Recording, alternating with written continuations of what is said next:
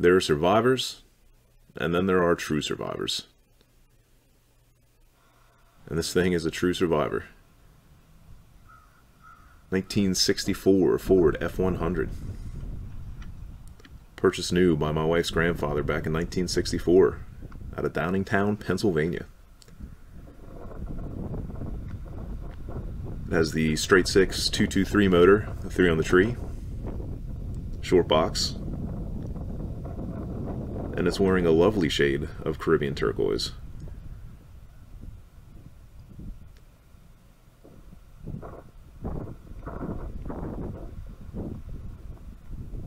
As you saw in the picture, it's lived a, a difficult life, a storied life. Sometime, I believe, in the 80s, my wife's grandfather parked it in his barn up in Wysox, Pennsylvania. And a storm ended up knocking the barn down with the truck inside. Caved the roof in, blew out all the glass, folded the passenger side door, generally just twisted the cab out of wampus.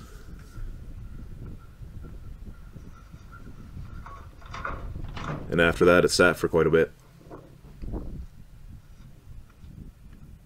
And as I'm sure you can imagine, the rust and rot took hold. Animals moved in. And it was in sad shape.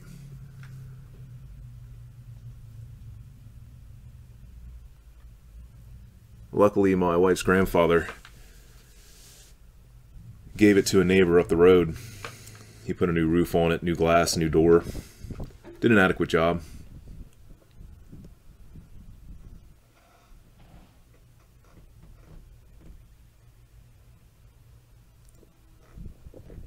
The neighbor up the street had it for a few years, and I imagine beat the hell out of it. Did some interesting patchwork over the years on it.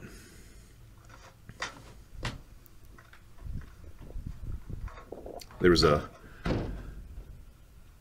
lot of street signs and a lot of uh, tin can floor repairs when we got this thing. But backing up a little bit, after the neighbor up the road had it, my wife's father purchased it back off of him. And then he had it for a decade or more. And that's when I came into possession of it. So when I got it, the floors were completely out of it. It had no cab mounts. The cab was literally sitting on the frame. Toe panels were completely out of it. The steps were completely rotted. The A pillars were gone. It was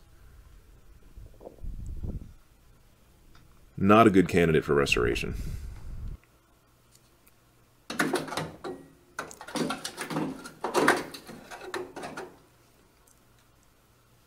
When we picked the truck up from my my wife's father, or I should say when he delivered it to us, because he's a sweet fella, the truck did not run.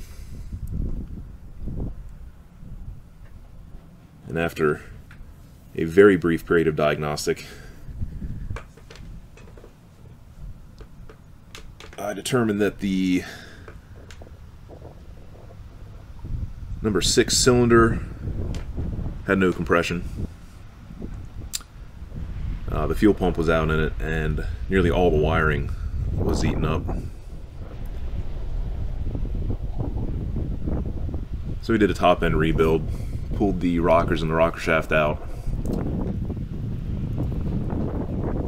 and discovered that a the exhaust rocker on number six seized and bent the push rod badly enough that the push rod was seized inside the push rod bore.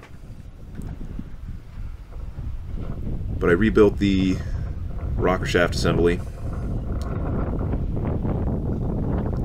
Put new push rods in it. New fuel pump. Rebuilt the distributor. And she fired right up.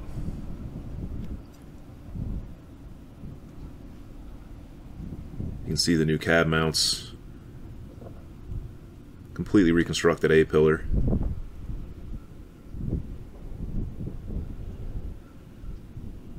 The new toe panel.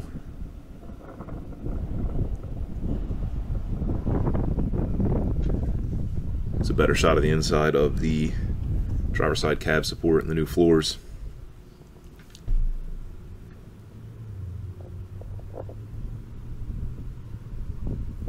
You can see the kick panel on the backside of the step.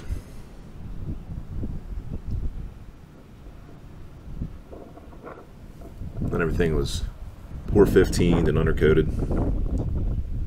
Of course, new bushings. But man, this motor has made me fall in love with straight sixes. This thing runs and sounds like a sewing machine. And this is a hot start. No choke, no accelerator pumps.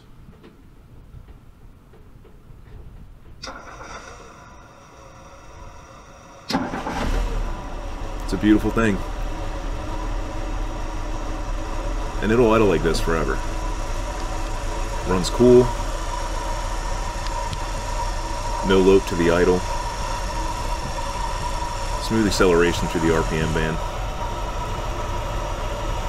Still has the original oil bath air cleaner in it, which you don't often see. You can also see the new master cylinder. That thing was so rotted out, fluid just drained straight out of the bottom of it. The only upgrade to this is the Pertronix electronic ignition, which I have come to enjoy quite thoroughly on points ignition vehicles. Gearbox is buttery smooth.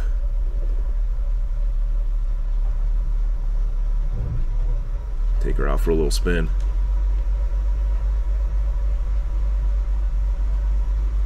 Takes a real man's man to do parking lot maneuvers with one hand in a manual steering truck.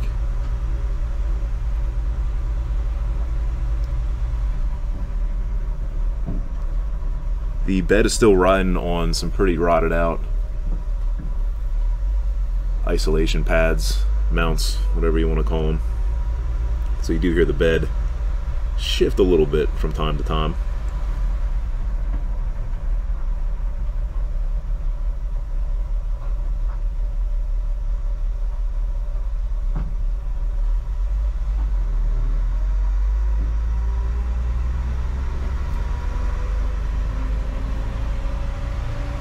You can see the uh, Speedo has a little bit of a nervous energy to it, but it still works generally.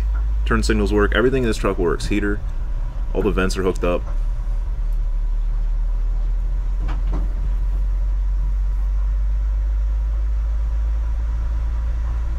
It's a beautiful piece of the past and a really a member of the family. Thanks for watching.